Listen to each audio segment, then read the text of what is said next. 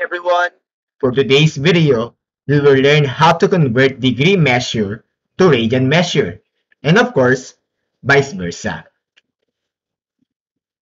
Sa pag-convert natin ng degree or given yung degree measure at i-convert natin into a radian measure, ang gagawin lang natin is yung given degree, i-multiply lang natin siya sa pi over 180 degrees. Yan lang po yung gagamitin natin para ma-express natin yung degree measure sa radian measure. So, meron tayong given dito na kung saan 120 degrees, i-convert natin siya into a radian measure. So, anong, paano natin gagawin yan? Meron tayong 120 degrees, multiply lang natin yan sa ating pi over 180 degrees. And then solve natin ngayon. So 120, de uh, 120 degrees multiplied by pi over 180 degrees magiging 120 degrees pi over 180 degrees. And then we can cancel both the degrees. And then, simplify natin yung 120 over 180. So, alam naman natin yung 120 over 180, yeah, they are both divisible by 60. Okay, so divide natin sila both side by 60.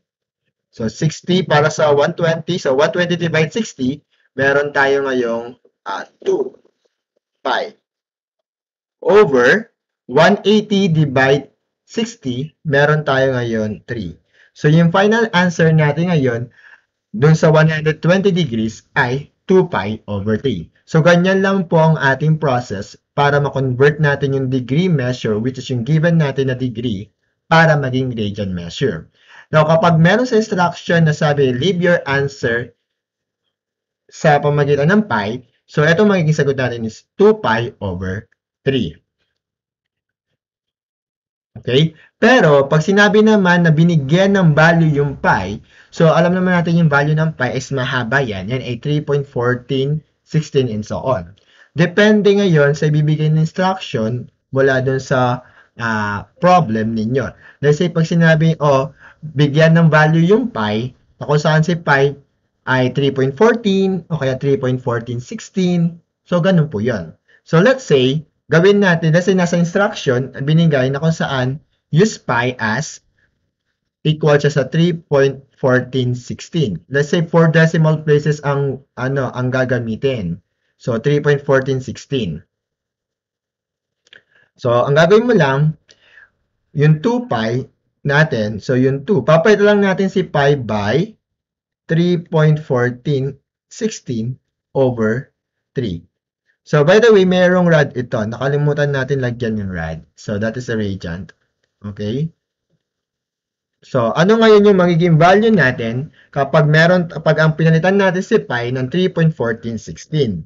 Magiging, so, 2 times 3.1416 and then, i-divide lang natin ito into 3. So, magkakaroon tayo ng 2.0944 for rad. Okay?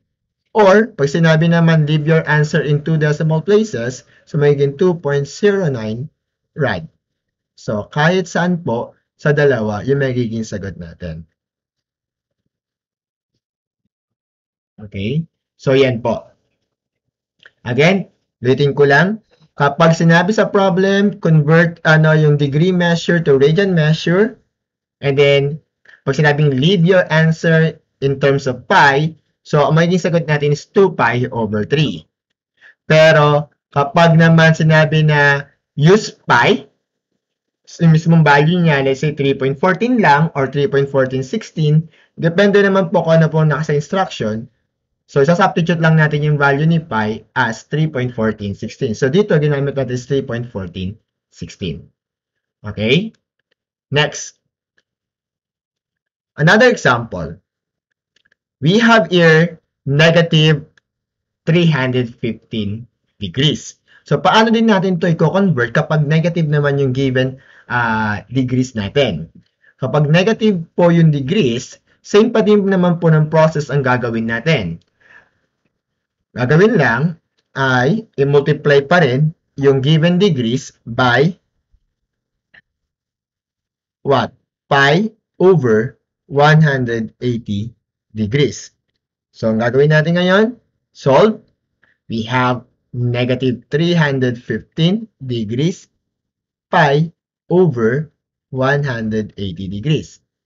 We can now cancel both the degrees. And then, magkakaroon tayo ng uh, negative 315 pi over 180. So, simplify natin si negative 315 over 180 degrees. So, simplify lang natin yan.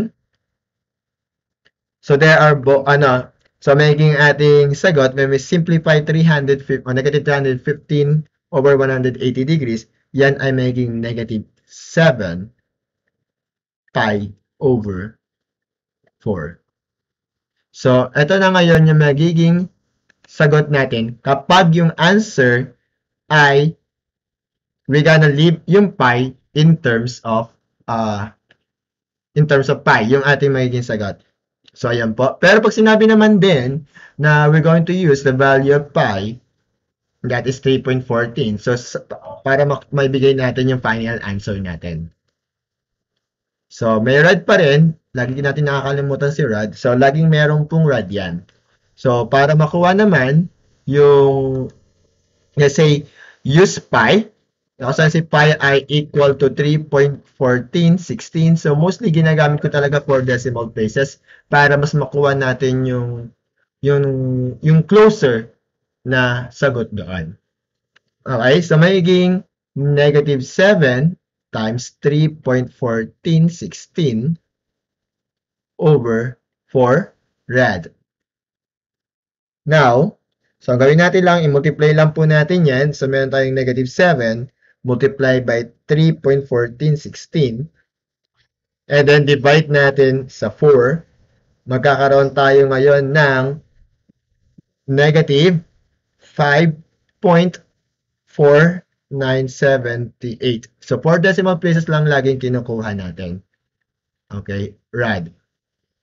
Or pwede naman kung 2 decimal places lang ang sabi so negative 5.50 rad. Ayan. So, yan yung magiging sagot natin. Kapag leave the answer in terms of pi, so yung negative 315 degrees, ang sagot po natin dyan is negative 7 pi over 4 rad. Pero naman pag binigay yung value ni pi, depende po sa magiging instruction, then, ganito po yung process na gagawin lang. Okay?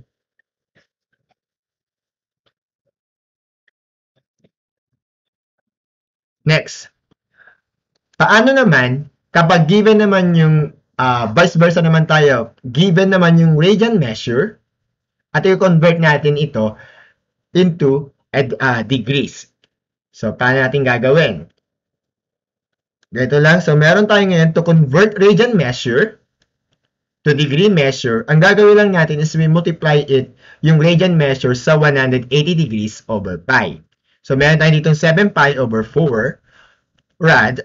So, ang gagawin lang natin dyan is uh, para ma-convert into a degrees, multiply lang natin itong radian natin by 180 degrees over pi. Kasi ang goal natin dito, para maka-sell si pi, kasi pi, and then maiwan si degrees. So, maka-convert na natin siya into a degree. Kasi yung 180 degrees over pi, they are uh, equivalent. So, 1 din yung value niyan. Solve natin. So, magkakaroon tayo ngayon ng 7 times 180. Ang sagot natin is 1,260 de uh, degree pi over 5 times pi. So, that is 5 pi. So, we can cancel both pi. And then, magkakaroon tayo ngayon ng 120, uh, 1260 divide natin by pi.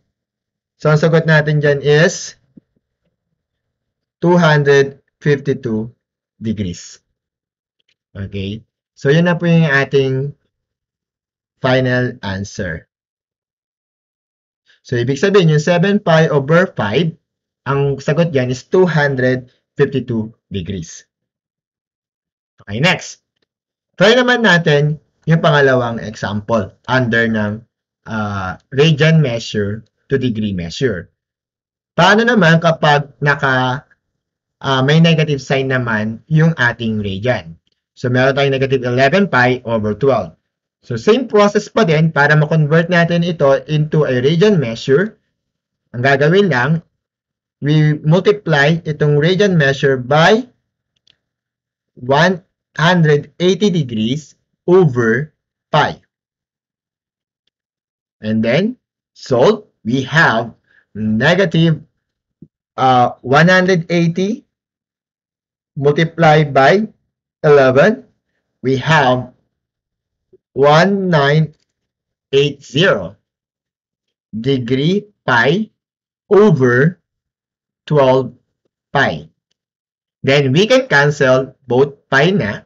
So, magiging sagot natin dito ay 1980 divide natin by 12. Ang sagot dyan ay ne negative 165 degrees. So, ito na po yung ating uh, final answer mula doon sa pag-convert natin ng radian measure into a degree measure. Okay?